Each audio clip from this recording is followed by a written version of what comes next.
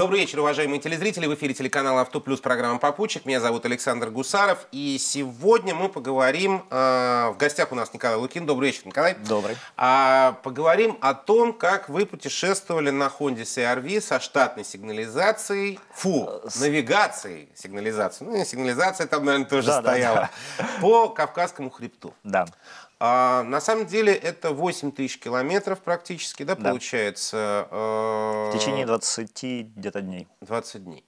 Ну, тут вот очень интересно э, по поводу самой навигации, э, как написано у них э, в рекламном, ну не в рекламном, а на сайте, что SSD Navigation – это высокая точность, отличное качество, богатый выбор функций.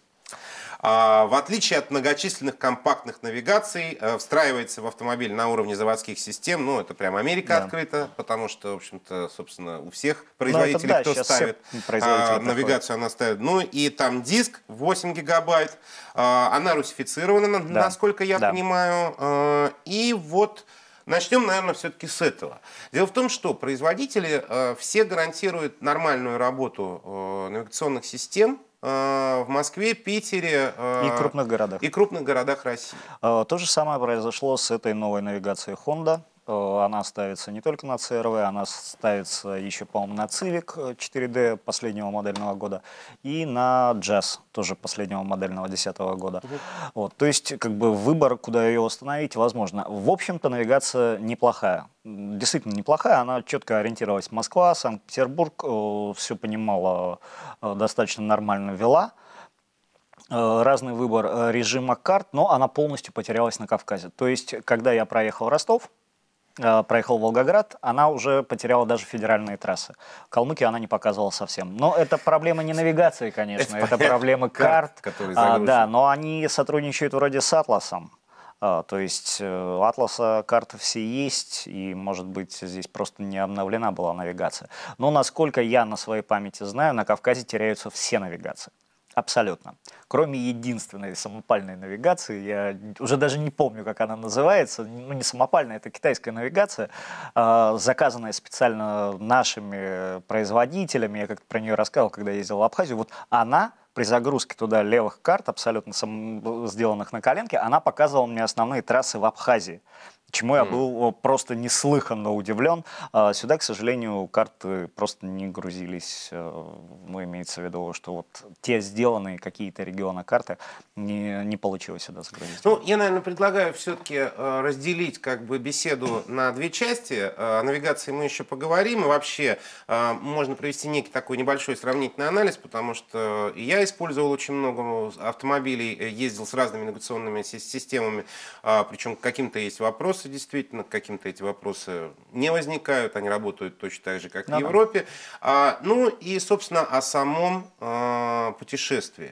А, во-первых, да, ну и об автомобиле. Почему выбор именно этой машины, а, а не какой-то другой, а, поскольку, ну, дороги там далеки от идеальных, а, что греха таить. А, а все-таки CRV, ну, назвать даже кроссовером а, можно с очень большой натяжкой, скорее это некий универсал а, с увеличенным клиренсом. Можно его так характеризовать. Ну, дело в том, что CRV в данном случае, в нашем случае, был э, с новым движком, вот, который поставляется специально для России, разработан в том числе, как говорит Honda, это 2.4, мощностью 166 лошадей, казалось бы, пока соотношение объем и то, что сейчас снимают современных двигателей такого объема, 166 лошадей немного, но он дает очень неплохой крутящий момент. И сначала машина была опробована именно на заснеженных, вот период снега, это как раз перед Новым годом э, машину я забирал. Э, когда все было заснежено, я попытался э, на ней поездить по сугробам меня полностью устроило, потому что именно вот то, о чем рассказывает производитель, это 80% мощности крутящего момента достигается уже при 2000 оборотах. Ой, очень хороший это, это очень хороший показатель. Машина действительно очень здорово шла через сугробы. То есть она вот перебиралась через все снежные кучи и прочее. И я решил, что в общем-то в горах это, конечно, будет только плюсом, а не минусом. Тем более, что в горах э, да и зимой гонять в любом случае не особо получается. Нет, можно, конечно, можно, только можно, зачем? Только зачем.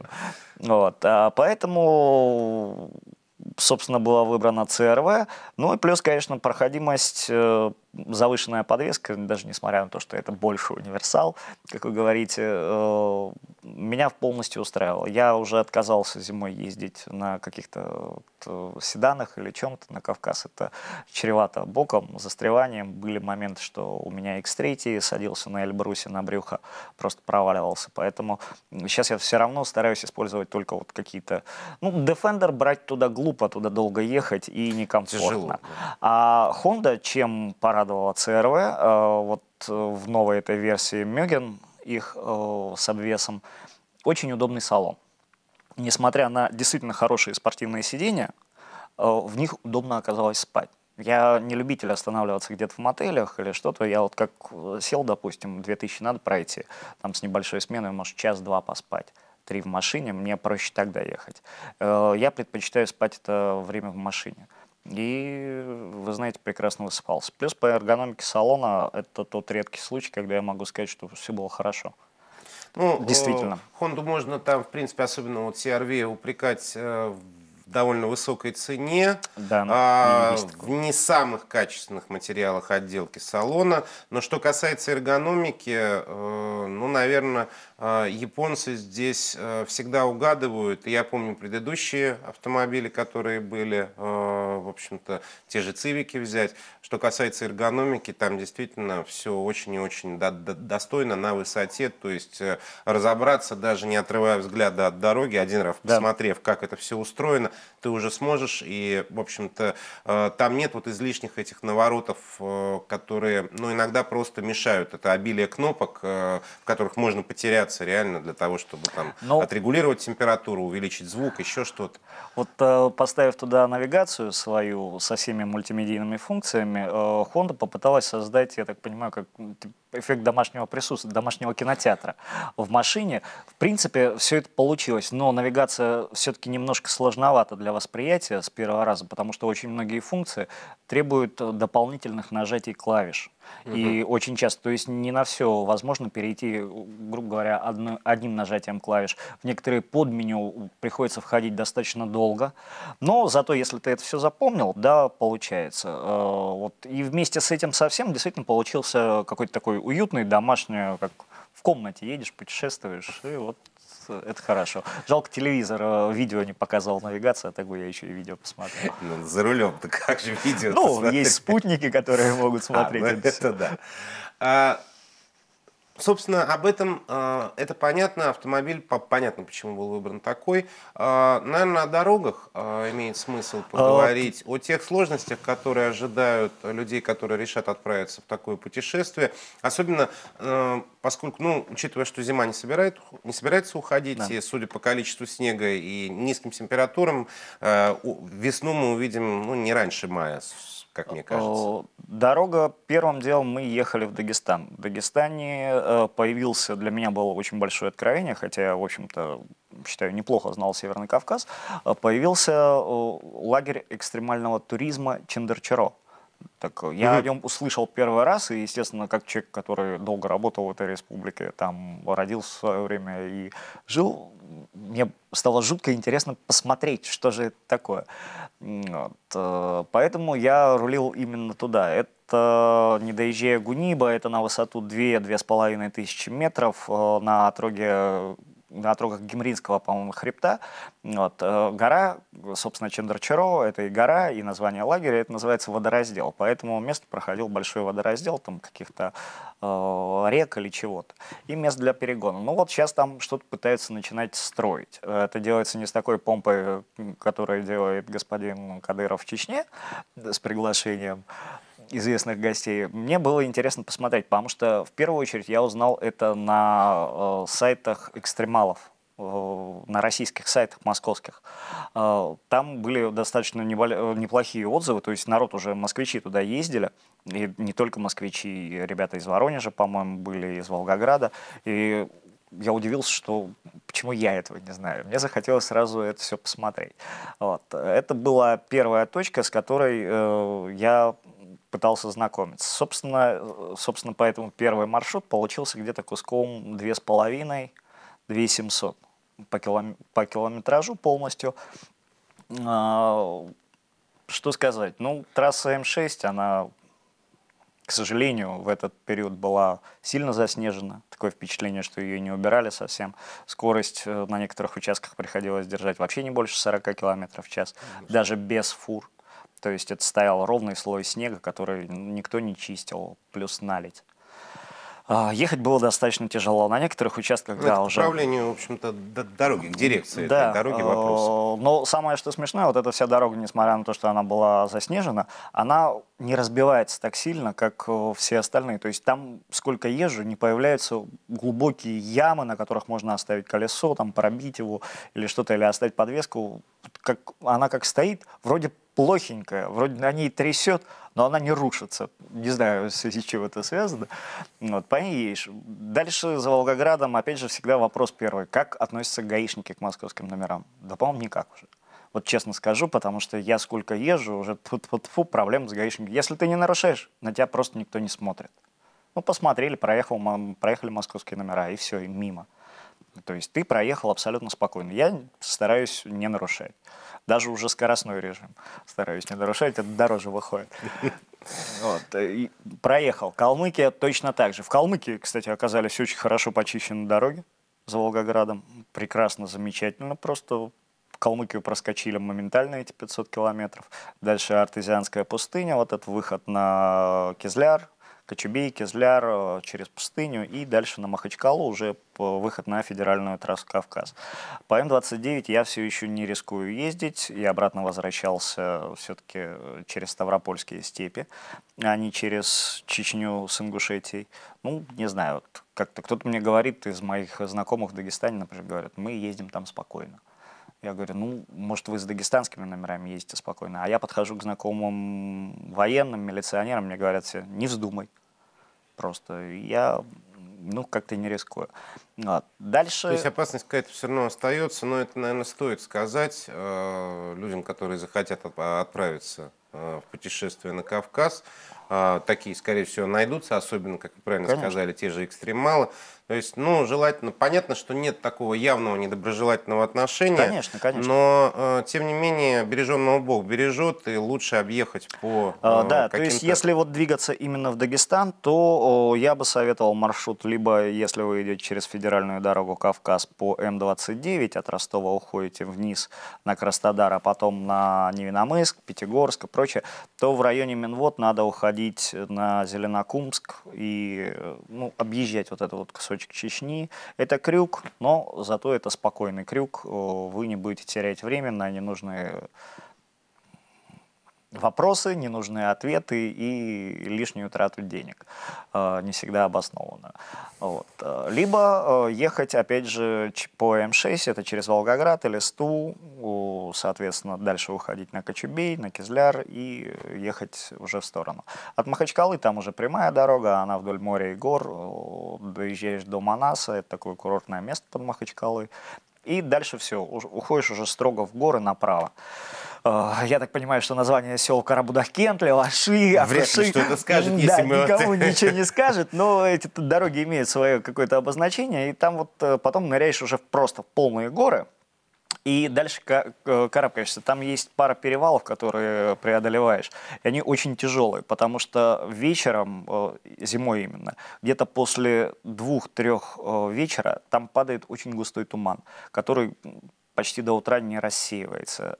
Очень извилистый серпантин, очень тяжело ехать, э, очень внимательно надо смотреть. Там фуры бывают, слетают в кюветы. Э, то есть э, движение очень плотное и очень аккуратное, учитывая количество местных лихачей, которые пытаются обогнать, несмотря на то, что ну, просто ничего не видно на расстоянии вытянутой руки, они все равно как гонят и по встречке, по прочим, там... Ну, э, горячие парни. Да, на, не на, только же надо, в Эстонии надо они держать ухо востро, вот на этом перевале. Э, он, собственно, между Карабудахкентом и Левашами. Дальше уже, и это как бы не совсем заснеженные места, э, очень странные перепады по природе, по природе. Ты вроде едешь, вроде горы, высоко в горах, а снега нет буквально через некоторое время ты отъезжаешь, проезжаешь километров 20 куда-то в сторону, на другой хребет, и попадаешь в абсолютно заснеженную пустыню. То есть вроде горы уже не такие по структуре, по форме, и они полностью в снегу. Вот это очень красивые такие переходы. Ты выезжаешь, кажется, с весеннего такого горного серпантина съезжаешь, и вдруг перед тобой такие снежные горы открываются. Это очень красивое зрелище, которое всем надо посмотреть. Э, имеет смысл посмотреть. Дальше там по извилистой грунтовой дороге надо держаться указателей и спрашивать у местных, потому что дорога еще там, фактически дороги-то и нет. Она не проложена. Кое-как прорублена, буквально в скале. Там вскарабкиваешься и попадаешь на пятачок. Это действительно лагерь экстремального туризма. То есть там, ну, для горных лыжников там поставили какие-то бугеля, но они пока еще не не очень большие по длине, то есть э, горнолыжникам там будет интересно, ну, до поры до времени, там только начинающим. Гораздо больше там э, интереса для любителей э, на парашютах, на парашюте с лыжами. Пускай как вот э, не кайтеринг, кайтеринг это никогда на воде. На воде, да. Я тоже в вот. этих вот. понятиях вот слегка там, путаюсь. Да, там все время подветренная сторона. И э, вот видеть, как летит параплан в горах, он мало того, что на высоте 2000 метров, он еще там взлетает куда-то, и он вообще получается такой шикарный обзор, потрясающий просто. Смотреть, глаза разбегаются. Вот туда едут за этим. Плюс там еще очень быстрые горные реки. Э, это сплав на байдарках. Байдарк. Э, тоже впечатление просто на всю жизнь. Э, лагерь недавно открылся, собственно, он так и существует как бы хотите приезжайте, не хотите не приезжайте. Цены там смешные, то есть ну, тысяча рублей за, за комнату, в которой можно жить в, вдвоем спокойно. Ну, Естественно, там просто потрясающая кухня, которую нигде в другом месте не попробуешь. никогда не попробуешь. Нормально, хорошие отношения местных жителей, доброжелательное очень все. Причем самое что смешное, вот для местных курорт пользуется популярностью. Я все время у дагестанцев спрашивал, ребят, страна гор, так и называется. Почему нет ни одного своего горнолыжного курорта? И вот э, начальник этого лагеря э, Гаджи, он мне сказал, что ну вот видишь, потихоньку пробуем, что-то начинаем делать. Это интересно, туда есть смысл ехать и зимой, и летом, и весной, то есть он будет круглосуточным и круглогодичным. Там уже, по-моему, даже проводятся какие-то соревнования наших общероссийских экстремалов, туда народ приезжает потихоньку. Ну, место абсолютно не раскрученное, поэтому там можно спокойно, именно спокойно, в отличие от всех других курортов, тихо, мирно и отдохнуть, и посидеть. И достаточно недорого. То есть это как бы было для меня хорошим, приятным открытием, о котором я не знал. Узнал только в прошлом году. Дальше, дальше я вот оттуда спустился, объехал Минводу, и мне стало интересно, что творится на моем любимом Эльбрусе. Я поехал туда. Творится там кошмар. Стоит канатная дорога. А, у новой канатки взорвали опору еще в декабре в начале декабря, и сейчас ходит только старая канатка. Это очереди по 5-6 часов. Мы там просто посмотрели, так развернулись и уехали. Потому что там не кататься, что-то делать просто невозможно. Это гвалт. Те люди, которые набрали туда билетов, ну, билеты сдавали.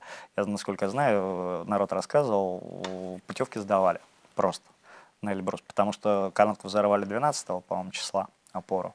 И еще 28-26 она не была сделана. Там говорили, что клятвенно божились, что к Новому году обязательно запустят. А для них, для всех, э, что Донбай, что Эльбрус, э, Новый год – это вот способ заработать чуть ли не на все лето. Ну, собственно говоря, да, потому что многие выезжают туда. Туда, там цены очень сильно поднимаются, соответственно, именно вот в этот период новогодних праздников. И это реальный шанс для местных жителей э, заработать себе на все лето, предоставляя квартиры, еду, что-то, что-то, какие-то услуги свои. А потом все. И тут народ просто стал сдавать путевки, отказываться от всего, ну, потому что невозможно в такой ситуации кататься, когда э, в кабинку в которой, э, которая рассчитана на 25 человек, забивают 40 человек. Ну, это и небезопасно еще. Конечно. Потому что, в общем-то, все предел какой-то существует, и однажды это все может плохо закончиться. Вот. И оттуда мы решили уже, собственно, вернувшись на Пятигорск, решили посмотреть, а что же творится на Донбай. Ну, благо, опять же, по дороге мы приехали и, к сожалению, увидели еще более печальную картину. Такое ощущение, что горнолыжные курорты России вот в этом году на новогодние праздники, они просто вот отдыхали молча. Э, внезапно сгорела на новой канатной дороге на Донбайе новый гондольный сгорел в первую очередь. Блок управления щитом. Я разговаривал с директором канатной дороги. Он говорит, мы сделаем там в течение трех-четырех дней. Я говорю, не сделаете. Он при мне ругался с саратовцами или самарцами, кто там МСКАДа поставляет оборудование. Они говорили, что надо куда-то. Да-да-да, мы приедем. Дело происходило 6 или 7 числа. А, да-да-да, мы приедем, обязательно сделаем. И в итоге никто не ехал, ничего не делал. И вот они сидят, вроде бы мы рады. А получилось, что тот народ, который сдал путевки на Эльбрус, он поехал на Донбай. И четвертого на Донбай встает канатка или шестого. Представляете ситуацию? Там Донбай гудит просто вот как встревоженный улей. И ходит опять то же самое. А, одна старая вот эта вот красненькая канатка которая таскает людей на первую очередь. Он в низине да. находится.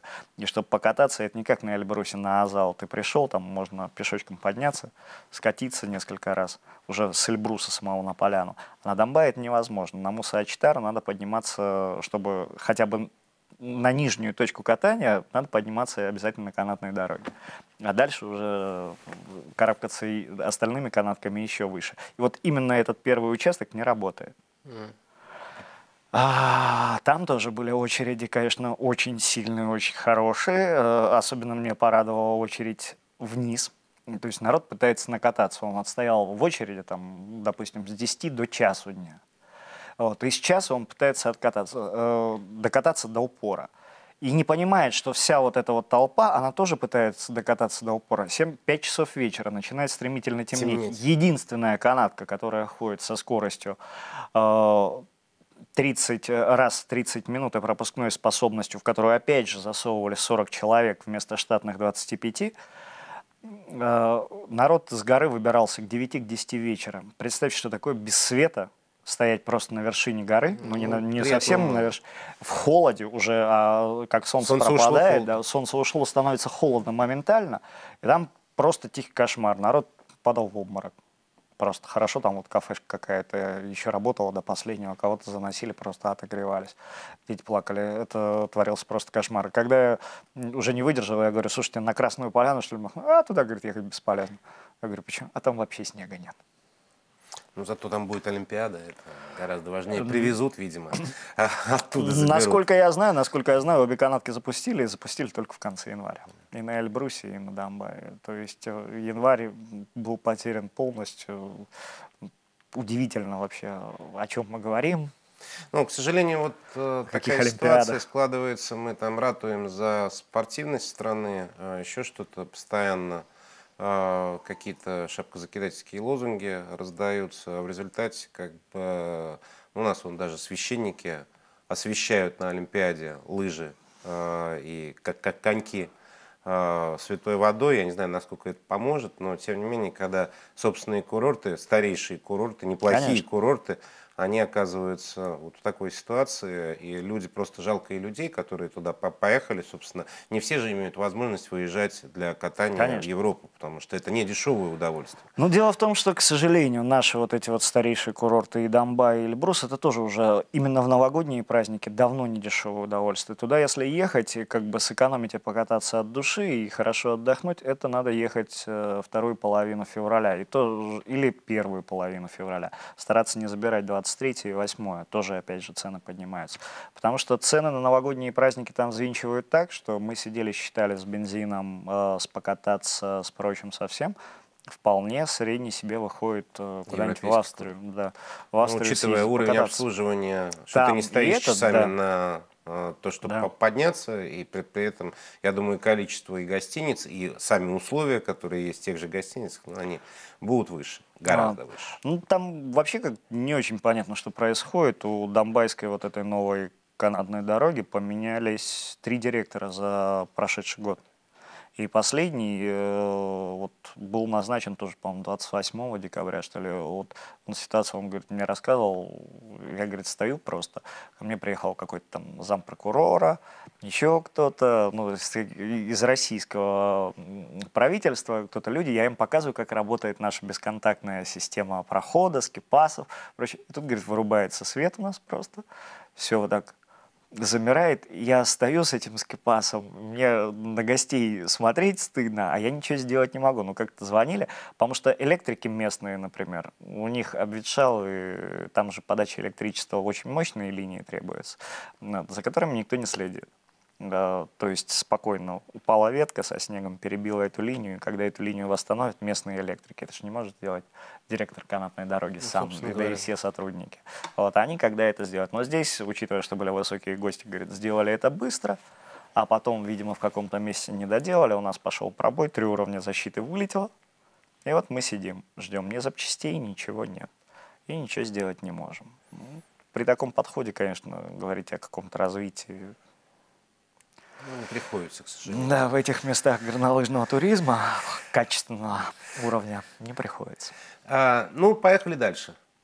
Поехали. Что касается машины в горах. Э, вот тут немножко возникли нарекания. Дело в том, что у Honda CRV у нее же постоянно как бы афишируется реал-тайм 4WD.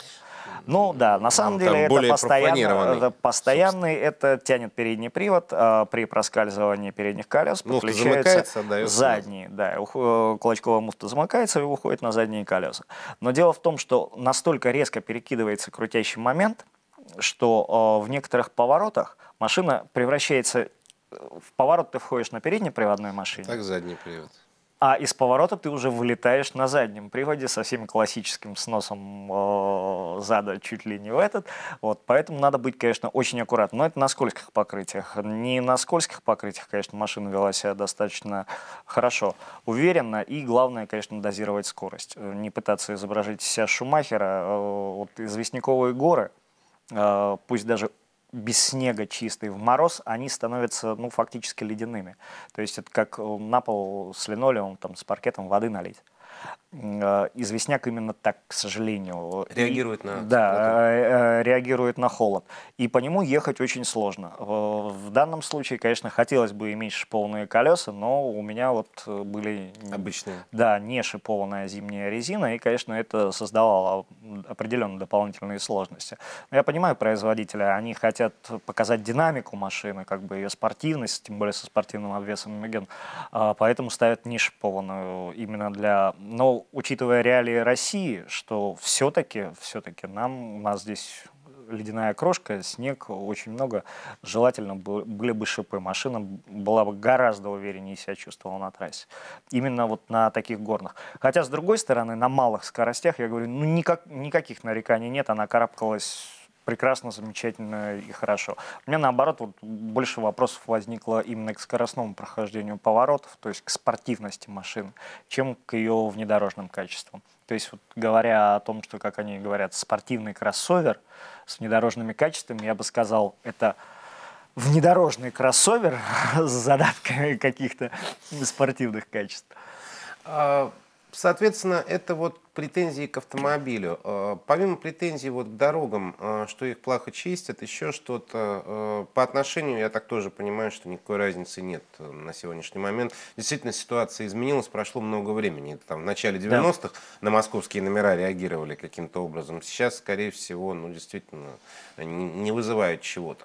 А, тем не менее, в общем-то, если говорить о качестве дорог и трасс, и, наверное, такой сложный вопрос, вот я не зря остановился на том, что не, не, не следует, если вы хотите ехать туда на автомобиле, ехать через захватывать Чечню. Мы, мы вовсе не хотим обидеть телезрителей Абсолютно, оттуда. Да. Как бы нет никаких претензий ни к э, людям населяющим. Это такие же люди, это россияне, они живут, мы живем все в одной стране. Просто есть, видимо, какие-то определенные, но многие связывают еще это и с некими опасностями. А, тут важно сказать, я думаю, что поскольку на собственном опыте все это увидели, а, может быть, предупредить, уберечь от чего-то, или наоборот э, людям сказать, что как таковой опасности эти трассы, э, как и все, что их окружает, не представляет? Или все-таки есть что-то? Э, в смысле, как именно дорога сама по себе? Нет. А если брать отношения, например, тех же самых гаишников. То есть вот была ситуация, когда я ездил в Южную Осетию и рассказывал здесь да. про эту поездку. Э, меня все запугивали, что как ты там поедешь по Кавказу опять, поэтому, но лучше Здесь всего стреляют, будет, говорит, да? нет, лучше всего будет в Осетии. В Осетии оказалось хуже всего. Меня нигде ни разу не остановили гаишники, кроме как в Северной Осетии, и просто нагло вымогали 50 рублей на пиво. Вот я говорю, это был такой меня не остановила ни Кабардин-Балкария, ни там, я не знаю, еще на, на каких-то постах, вот, которые проезжали, там меня просто не останавливали. Но зато в Северной Осетии, в которой мне говорили, абсолютно у нас спокойно, замечательно, вот там меня просто остановил, гаишник спокойно говорил, 50 рублей на пиво оставь. За что? Я говорю, ну если бедный, на, выпей за мое здоровье. Конечно. Вот, э, вот эти моменты есть. И, конечно, к сожалению, эти люди вот в глубинках. Понятно, что на стационарном посту вряд ли такое будет.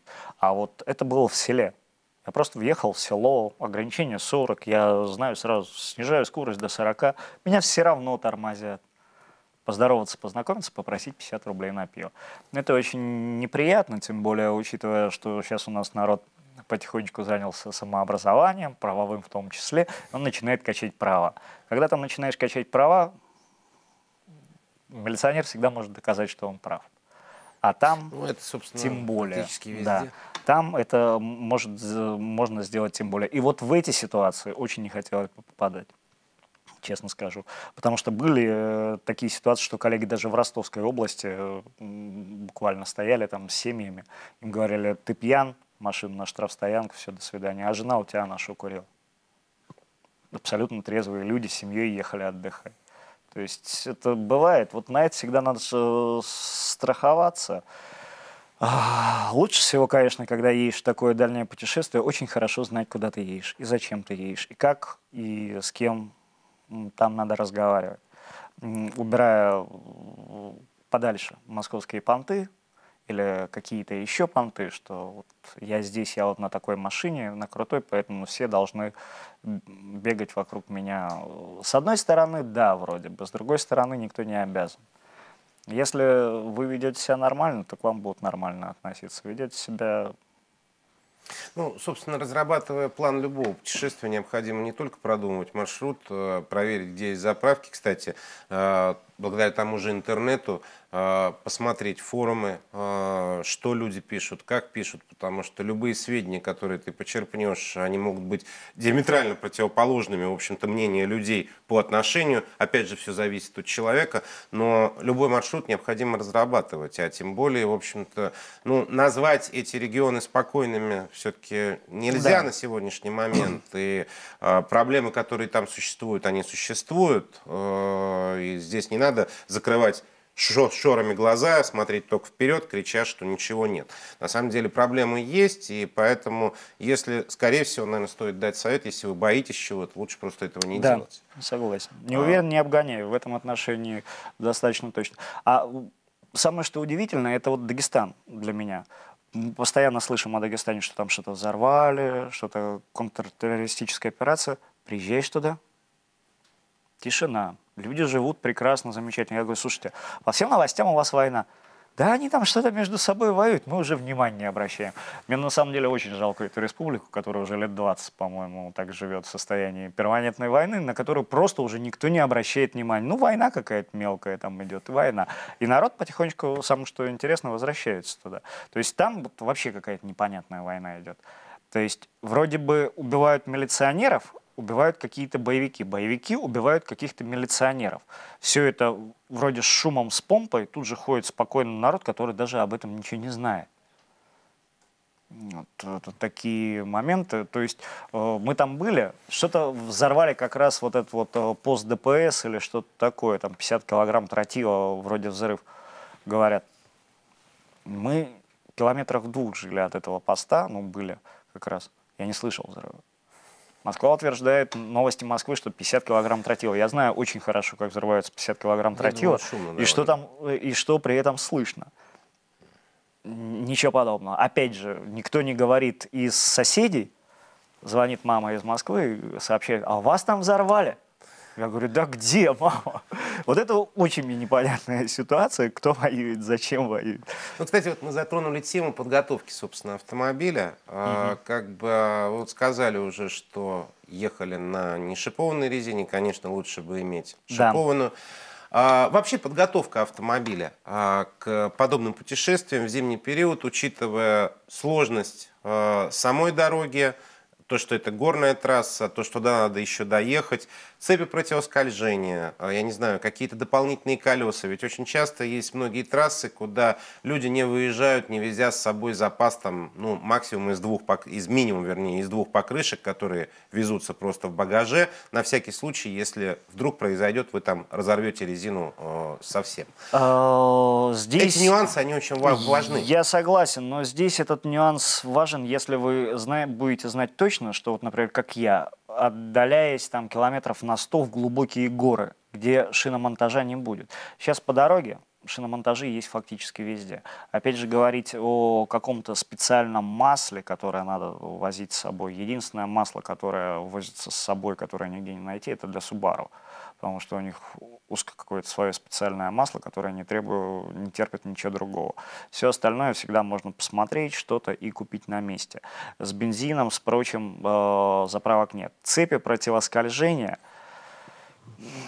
надо смотреть регион куда ты выбираешься. Потому что взять, нацепить тупо в горах цепи противоскольжения и на них ехать, это, во-первых, себя измучить, эта скорость очень сильно падает. Естественно. А, сразу, то есть э, время на доставку из точки в точку очень сильно увеличивается. Может, имеет смысл просто чуть аккуратнее ехать самому на обычной резине, потому что это все-таки возня. Я обычно ими не пользуюсь честно скажу. Вот сейчас, я не знаю, получится у меня проехать по Ладоге до Валаама на серийной машине, вот туда, да, я возьму цепь противоскольжения. А, то есть все-таки в Но это по льду, региона. конечно. Mm. Здесь в данном случае у меня, мне придется ехать по чистому льду, припорошенному снегом, по замерзшему озеру. А, вот здесь цепи противоскольжения нужны. Во всех остальных случаях я бы ну, кто-то может перестраховаться взять. Я достаточно уверенно себя чувствую за рулем. Мне они, честно говоря, не очень сильно нужны. С покрышками то же самое. Бензин. Бензин. Вот качество бензина, качество бензина, это везде, всюду и вся обвиняется, обвиняется достаточно, да, к сожалению, обоснованно. 95-й, который ты там пытаешься заливать, дай бог, чтобы по качеству дотягивал хотя бы до 92-го. Ну, то есть здесь, к сожалению, никуда не деться. Пока сетевые заправки не разберутся со своими дилерами, или как их назвать, которые под их брендом стоят, там продают этот бензин, ты туда приезжаешь, потом понимаешь, что у тебя машина просто не тянет, а расход у Хонды той же самой по дороге, по трассе на скорости 120-130 км в час вырастает до 11 литров, по трассе на ровной скорости. Это много очень. Это значит, что некачественный бензин, ну, выработка катализатора и просто начинает сжигать все больше и больше топлива машина. Ты заливаешь нормальный бензин, расход падает. А, вот, к сожалению, на это, да, имеет смысл брать с собой э, бензин насколько вы сможете. Благо сейчас есть э, такие штуки, как пластиковые баки, там, например, вот, э, абсолютно, ты налил в них бензина, они герметически закрываются, э, мягкие пластиковые баки. Он кладется, растекается у тебя под днище, там, или куда-то ты его засовываешь э, в багажный отсек, карман, и он там лежит. То есть кто не хочет рисковать, может пользоваться так. Цена бензина э, не всегда говорит э, высокая цена, там же. О качестве. Да, о его качестве, к сожалению. И сколько сталкивался, я прямо назову спокойно, что и Роснефть, и Лукойл, и ТНК, и прочие, на которых сетевых заправках я там не заправлялся, они торгуют не, не совсем качественным бензином более-менее. Я там давно езжу и абсолютно точно знаю, что говорю. Основным как бы, поставщикам имеет смысл разобраться со своими против... э, производителями, потому что совсем не хочется потом менять катализатор, это достаточно дорого. Дорогое удовольствие. Э, дорогое удовольствие и полную прочистку инжектора в том числе. делать. Собственно говоря, да, потому что, ну и потом это не секрет, современный автомобиль вообще очень требовательный к качеству бензина. Да, Да. а можно проехать какой-то период, там даже на 80-м, на автомобиле, который тр- требует 98 или 95 а, но что будет потом, в общем-то, если ты будешь конечно. ездить на нем постоянно, естественно, с двигателем произойдет в общем, Конечно. много чего. А, Есть еще такой вопрос, наверное, все-таки стоит о нем сказать. Мы вот чуть упомянули тему гаишников. Вообще, какие документы с собой лучше возить? Как бы, что брать? То есть, потому что, ну, очень много, мы вот ездили как-то в свое время, то есть автомобиль один был предоставлен представительством, и, соответственно, то есть мне была вы- выписана нотариально за, за- заверенная доверенность, при этом со штампами представительства, со, со- со- со всеми делами, то есть мы выезжали за границу на этом автомобиле. От страны ведь тоже очень сильно зависит. Здесь мы вроде как находимся на своей родине, но тем не менее отношение к вот подобным документам, часто же люди управляют по рукописным доверенностям. Не возникли ли ты проблем, вот если ты едешь, это ведь, ну, тут тоже довольно важный момент. Да нет, сейчас к доверенностям не придираются. И, кстати, в шенгенскую, в зону Шенгена можно выезжать даже без нотариально заверенной доверенности, насколько я в курсе. То есть по обычной доверенности, вот, которые нам представительства дают на тесты. У меня ни разу не возникало вопросов к доверенности. У, там кто-то из ребят по- попадал, рассказывали, что, говорит, одна буковка была перепутана, была целая проблема, но это фактически, да, это тогда уже неверный документ составлен, говоря. там есть к чему придраться. А так, на рукописные доверенности я тоже знаю, что не грешат. Здесь грешат на то, что гаишники начинают давить на то, что чтобы ты быстрее от них отделался, ты бы им что-то просто Дал. дай что-нибудь, да, и езжай себе. Но если вы уверены в себе, если вы уверены в своих бумагах, если вы уверены полностью в своих документах, лучше всего с собой, конечно, возить министерское удостоверение, Да там, понятно. чиновника Госдумы, ну, на худой конец э, удостоверение журналиста, простите. Вот, это тоже как немножко действует. Нет, надо знать, как бы не бравировать, не давить на то, что вы знаете свои права и, соответственно, свои обязанности, не давить на это, а просто спокойно информировать сотрудника. Э, ДПС, который якобы там что-то пытается у вас вымогать или э, намекает вам на то, что неплохо бы ему что-то дать, Просто показать, что вы знаете свои права, что вы уверены в себе и полностью контролируете в данном случае ситуацию. Я больше чем уверен, что от вас отстанут.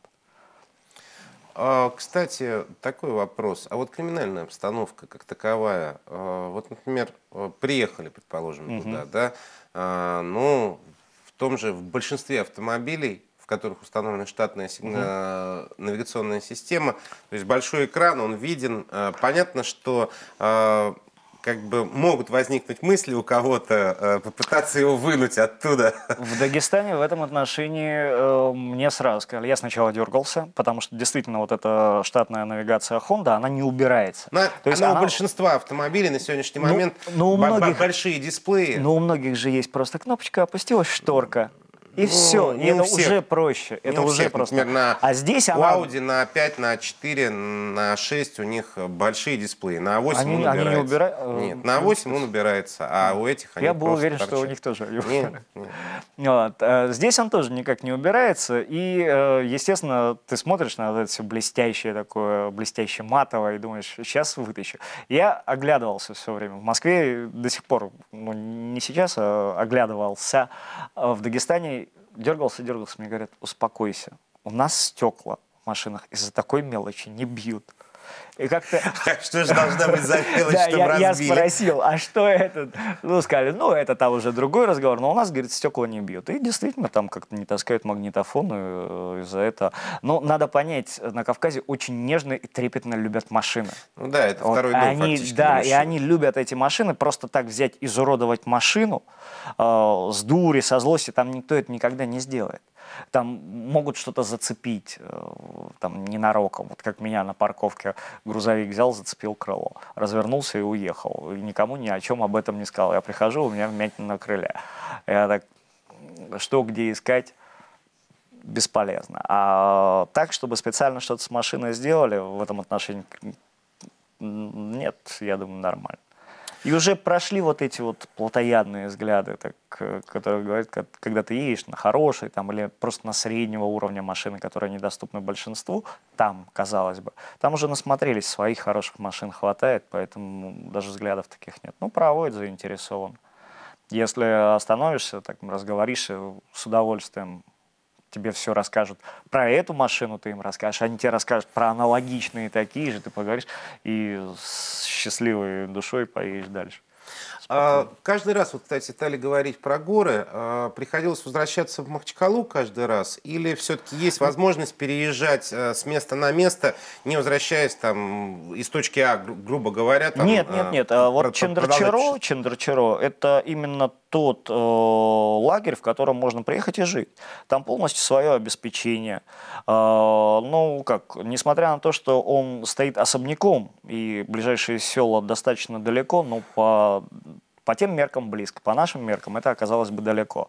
Да, но жители, например, этих сел, им очень нравится и выгодно. У них э, лагерь закупает сразу продукты, там э, директор рассказал, говорит, в очереди стоят, чтобы барана. Кто сегодня из села будет продавать нам барана? И они с утра сразу привозят. То есть и плюс там полностью автономное э, энергообеспечение и газ. Вот сейчас им провели как раз туда. Я приехал, провели газ. Это был всенародный праздник, потому что, собственно, туда ездят в основном сейчас вот либо москвичи-экстремалы, и какие-то, ну, действительно экстремальные это люди, которые поняли и оценили, насколько там хорошо этот, либо подъезжают свои местные, которые очень неважно стоят на лыжах, там очень, но зато там есть снегоходы, на которых их дети могут покататься. То есть это пара тысяч человек из ближайших сел, молодежи в основном, которые поднимаются просто посмотреть на вот эту на диковинку. Хотя наплыв там, говорят, большой.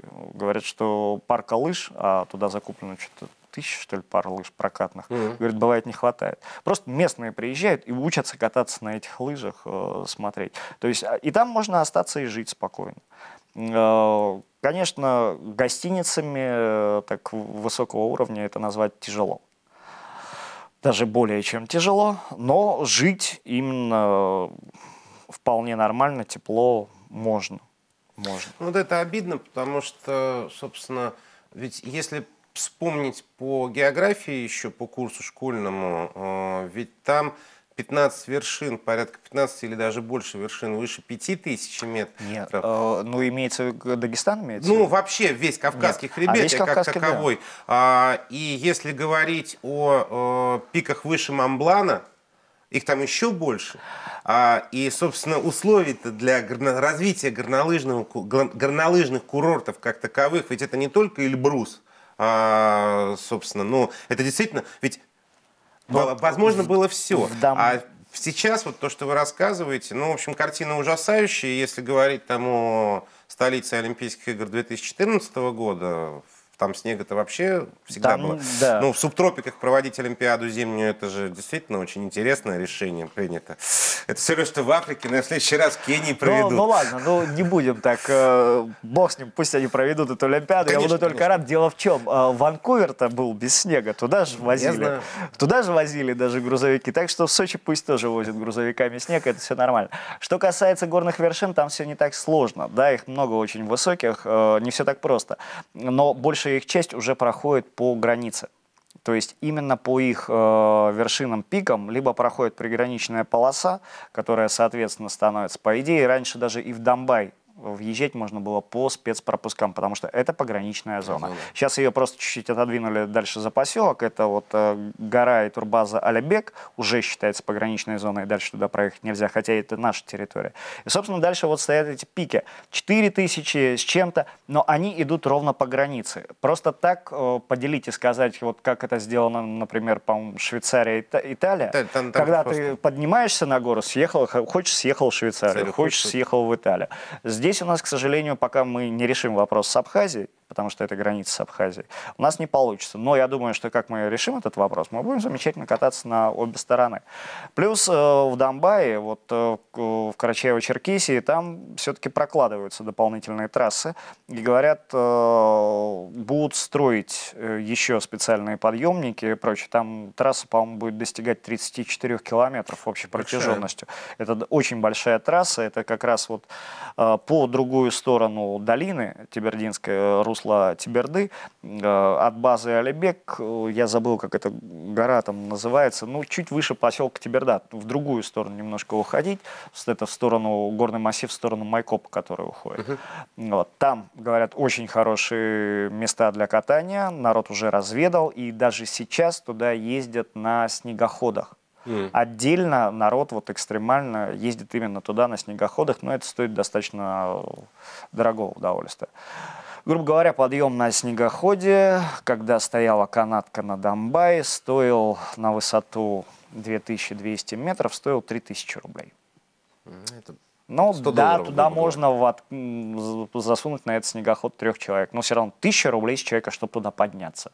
А потом, чтобы спуститься, они просили, ну, либо тысячу давай, либо 500 уже там под конец, ну, чтобы совсем порожняком не гнать, для тех, кто не хочет ехать. А, поэтому сколько стоит поехать туда, на снежные, на, вот, на целинные эти горы покататься, это достаточно дорогое удовольствие. Но есть... что-то пытаются развивать. В том же самом Чендерчаро, там точка перепада, по-моему, 600 или 400 метров перепад высот.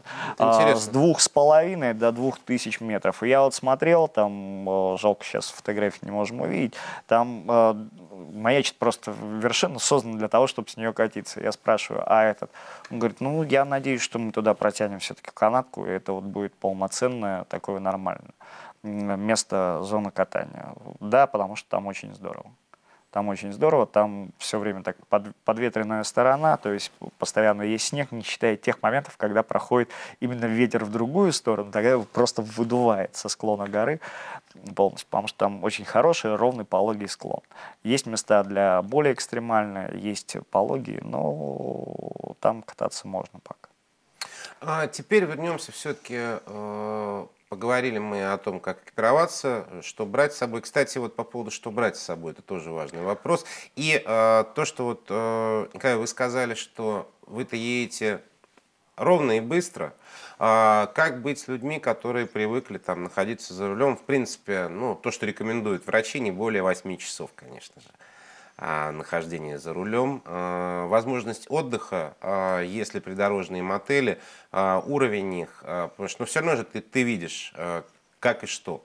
Поскольку, ну вот я сам столкнулся в один период, мы ехали в Одессу, на машинах. Специально мы ехали в командировку, но ехали на автомобилях. И я помню, что подъехав в Киеву, перед Киевом, и когда мы выехали на, на трассу Киев-Одесса, там было масса, полно по трассе мотелей, очень приличных отелей, э, мотелей именно, где были охраняемые стоянки, приличная еда, очень хорошие условия для проживания. Стоило это все недорого, э, в принципе, э, но когда мы ехали в обратную сторону, мы очень быстренько и живенько проскочили и отъехали mm. от Киева и столкнулись с чем, что ночевать-то, собственно говоря, негде. А, вот, и эта проблема, а, она существует. А с нами были также дети, соответственно, в общем, ну, она стала ребенком. Ну, тогда да. Э, вот э, здесь разница, конечно, э, колоссальная в семейном путешествии и экстремальном путешествии. У меня оно иногда получается семейно экстремальным, иногда полностью... Симбиоз некий. Да, иногда полностью экстремальным, но, к сожалению, вот семейно с детьми у меня все никак не получается, потому что у меня дочка еще не подросла до такой степени, никак не могу выбрать время, чтобы я можно было свои какие-то такие командировки с собой выбирать. Поэтому дочка у меня проходила максимум это Москва-Питер, Питер-Москва. Ну, выдержала дорогу нормально. А, поэтому, в принципе, на всех этих сейчас федеральных трассах э, мотелей, в общем-то, хватает. Э, можно выбирать на свой вкус и цвет. Но всегда людям, которые собираются ехать с детьми, я говорю, оцените возможности не свои в первую очередь, а именно возможности детей. То есть вы понимаете, что вашего ребенка не хватит больше, чем на 3 часа спокойного сидения в машине. Потом он начнет капризничать, ныть. Придумайте ему что-нибудь, чем его успокоить. Не подзатыльник, Ну, это естественно. Да, а, не просто подзатыльник. Это хорошо, если укачает и будет спать просто. А очень большое количество детей, оно просто начинает капризничать. То есть крутиться, дергаться, вертеть, это будет сильно отвлекать от дороги. Никакие мамы, никакие бабушки, которые с вами есть, они не помогут водителя, все равно это будет отвлекать. И тот человек, который за рулем, он отвечает за всю машину. Поэтому он должен думать сразу всегда, что делать в этой или в той или иной ситуации. Вы должны рассчитывать свой средний путь, то есть свою среднюю скорость, сколько вы проедете за эти три часа. Если ваш ребенок выдерживает три часа, больше на больше его не хватает, значит, после трех часов пути, а это где-то 300 километров, дай бог, которые ну, вы говоря, проедете, да, смотрите место, где вы можете остановиться, перекусить, где ваш ребенок сможет отдохнуть, прочее, выбирайте. Выбрать э, сейчас достаточно просто. Опять же, те же самые форумы в интернете, везде все пишется.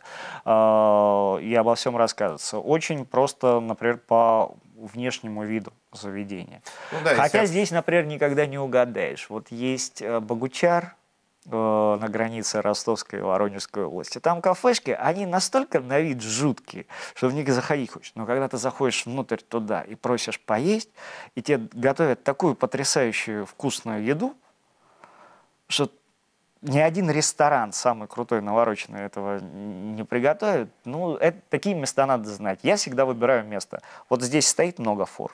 Ну, Значит, это, кстати, здесь один хорошо. из первых показателей. Если да. дальнобойщики, которые ездят постоянно, и они останавливаются в каком-то месте, то, соответственно... Да. Там может быть чуть-чуть дороже, чем э, во всех других окрестных местах, но зато там будет лучше. И это абсолютно точно. А, если говорить еще о том, что э, как бы маршрут разработали, э, в принципе, э, стоимость вообще вот подобной поездки? Э, то есть понятно, что расход бензина здесь не учтешь, потому что ты можешь нарваться на плохой бензин, можешь нарваться на хороший, соответственно, в общем-то, но это такая величина, она, э, понятно, не может быть э, априори оптимальна для всего, потому что автомобили разные, и манеры ну, ведения, поведение за рулем разное, то есть и скоростной режим, но тем не менее, в общем-то, средняя стоимость подобных поездок, в общем. Средняя стоимость подобных поездок поездок будет выходить где-то порядка 30 тысяч рублей на двух человек. Много это или мало на неделю, на две, решайте сами. То есть для себя. Что касается бензина, рассчитывается он достаточно просто.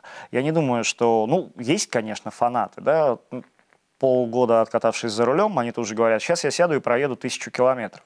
Мне таких, людей, мне таких людей всегда очень жалко, потому что я видел парочку таких людей, они вот после 350 километров, они уже были выжаты как лимоны, которые полгода поездив по городу и решив, что все, он ас, я теперь сяду, и пойду на обгоны, и на все нормально.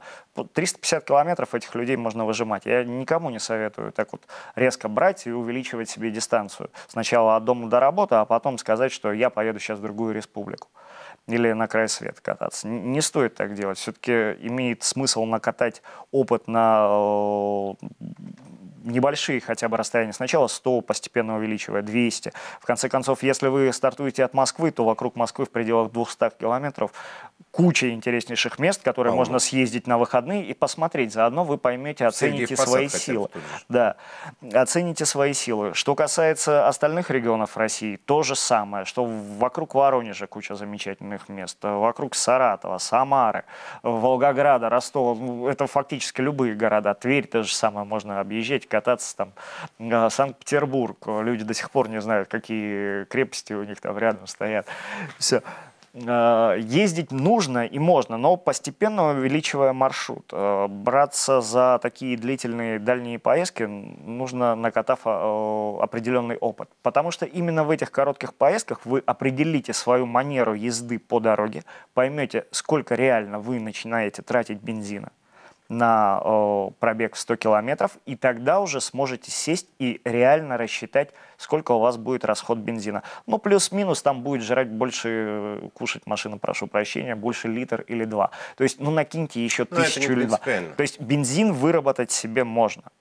А если что-то заказывать заранее, то можно заказать это по более дешевым ценам. То есть, если спланировать поездку месяца за два, до выезда, она может обойтись намного дешевле, чем в какой-то момент вы скажете, о, завтра я еду и вперед.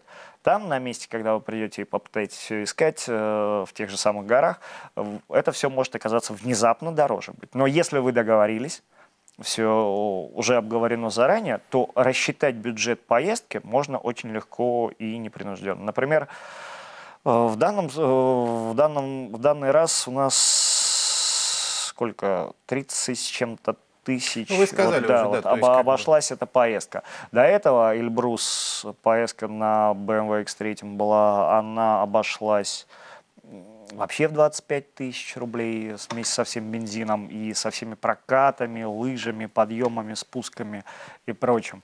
Э, Еще куда-то летом на море мотались, тоже, опять же, в пределах 30 Ну, все зависит, собственно, наверное, скорее всего от того, э, от качества бензина и от многих факторов. Просто единственное, надо действительно все это учитывать. Да, конечно. Огромное спасибо, что пришли к нам в студию. Спасибо. Спасибо и вам, наши уважаемые телезрители. Э, Я думаю, что самое главное, чтобы у вас было желание и возможность путешествовать. Берегите себя. Всего вам доброго. До свидания.